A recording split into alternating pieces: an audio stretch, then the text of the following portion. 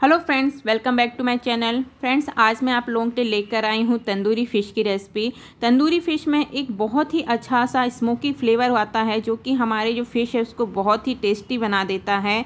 और ये smoky flavour हम कभी इसे फ्राई करके बनाते हैं तो वो नहीं आता है. जब तक हम इसे बारबेक्यू में या कोयले की सिगड़ी में कुक नहीं करते हैं, वो स्मोकी फ्लेवर नहीं आता है. लेकिन यदि आपके पास एलजी का चारकोल माइक्रोवेव है तो उसके चारकोल मीनू में यदि आप इस फ़िश को कुक करेंगे तो वही स्मोकी फ्लेवर इसमें आ जाता है. तो चलिए इसको देखते हैं कि मैंने किस तरह से कुक किया है। तो सबसे पहले तो मैंने यहाँ पे ली है फ़िश और ये ली है मैंने कतला फ़िश और इसमें सबसे पहले मैं सॉल्ट ऐड करूँगी। इसको हम मैरिनेट करेंगे। तो सेकंड हम इसमें ऐड करने वाले हैं हल्दी पाउडर तो मैं एक से डेढ़ चम्मच इसमें हल्दी पाउडर ऐड करूँगी। उसके बाद आधा चम्मच रेड चिली पाउडर ऐड करूँगी। मिर्च आप अपने हिसाब से ऐड कर सकते हैं। उसके बाद मैं इसमें ऐड करने वाली हूँ जिंजर, जिसे मैंने अच्छी तरह से कूट के रखा हुआ है। तो उसे ऐड करेंगे, उसके बाद हम इसमें ऐड करेंगे गार्लिक। तो गार्लिक को भी इस तरह से क्रश करके ऐड किया है। आप पेस्ट भी ऐड कर सकते हैं। उसके बाद मैं यहाँ पर एक चम्मच लेमन जूस ऐड करने वाली हूँ और उसके बाद हम इसको इसमें थोड़ा सा गरम मसाला ऐड करेंगे। ये घर में ही मैंने तैयार किया हुआ है। उसके बाद इन सारी चीज़ों को मैंने मिला दिया है और इसको ढक के हम एक घंटे के लिए फ्रिज में रख देंगे। एक घंटे हो चुके थे फ्रेंड, ये देखिए हमारी फ़िश बहुत अच्छी तरह से मैरिनेट हो चुकी है। अब इसमें हमें कुछ बहुत ही इंपॉर्टेंट चीज़ें ऐड करनी है। तो सबसे पहले हम इसमें डालेंगे दो चम्मच मस्टर्ड ऑयल तो फ़िश में हमेशा मस्टर्ड ऑयल ही ऐड करिए, इससे इसका फ्लेवर बहुत ही अच्छा बढ़ जाता है। तो दो चम्मच मैं यहाँ पर मस्टर्ड ऑयल ऐड करूँगी। उसके बाद हम इसमें ऐड करेंगे तीन चम्मच बेसन। तो ये मैंने यहाँ पर पिसा हुआ बेसन लिया है, चना दाल, आप इसे बेसन या ग्राम फ्लावर भी कह सकते हैं। तो यहाँ पर मैंने तीन चम्मच बेसन लिया लिया है। उसके बाद मैं ऐड करूँगी दो चम्मच चावल का आटा। तो यहाँ पर दो स्पून मैंने यहाँ पर पिसे हुए चावल का आटा ऐड किया है। और मैं यहाँ पर थोड़ी सी अजवाइन ऐड करूँगी। उसके बाद हम इन सारी चीज़ों को अच्छी तरह से मिला देंगे। तो ये तैयार हो चुकी है हमारी फ़िश माइक्रोवेव में रखने के लिए। और अब हम लेने ले लिया है यहाँ पर एक बेकिंग ट्रे और नीचे में यहाँ पर एक चम्मच लगा दूँगी मस्टर्ड ऑयल। तो मैं इस मस्टर्ड ऑयल को अच्छी तरह से इसमें फैला देती हूँ। आप इसमें मस्टर्ड ऑयल या कोकोनट ऑयल ही इस्तेमाल करिए, इससे इसका फ्लेवर बहुत अच्छा बढ़ जाता है। मैं यहाँ पर मस्टर्ड ऑयल ऐड कर रही हूँ। इसका तीखेपन से जो हमारी फ़िश होती है, बहुत ही टेस्टी लगती है। तो अब मैंने यहाँ पर फेस को भी लगा दिया है। तो ये हमारी, मैंने यहाँ पर सिक्स पीसेस ली हैं फ़िश की। तो मैंने इसको रख दिया है और अब हम चलते हैं माइक्रोवेव की तरह। तो सबसे पहले हम अपने माइक्रोवेव में रखेंगे जाली। तो ये मैंने यहाँ पर ली है हाई जाली, ये हाई रैक है। ये हमें माइक्रोवेव के साथ ही मिलता है। तो अब मैंने इसको रख दिया है, उसके बाद हम इसमें रख देंगे अपनी फ़िश को। तो हम इसे फ़िश को भी रख देते हैं। अब हम इसका, आप यहाँ पर चारकोल मॉडल सेट करेंगे। चारकोल मोड सेट करने वाले हैं तो आप स्क्रीन पे देखिए। तो यहाँ है चारकोल बटन तो उसको हम प्रेस करेंगे।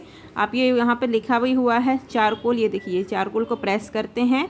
उसके बाद हम इस गोल वाली बटन से मीनू सेट करते हैं। तो यहाँ पर इसमें जो नंबर शो होते हैं, एक के बाद इसमें नंबर में सेट हो रहती है इसमें रेसिपी तो यहाँ पर ट्वेंटी नंबर पर है फ़िश तंदूरी तो उसको सेट करके मैंने स्टार्ट की बटन को प्रेस किया।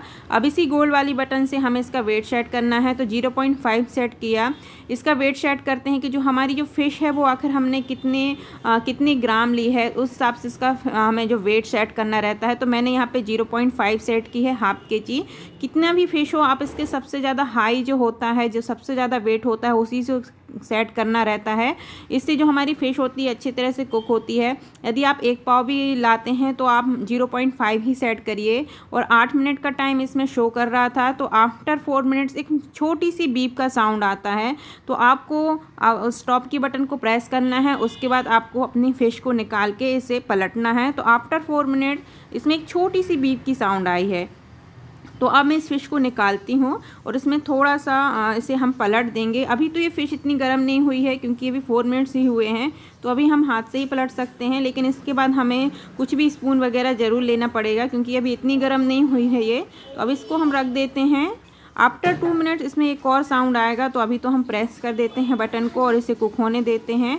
आफ्टर टू मिनट्स इसमें थोड़ा सा एक और साउंड आता है।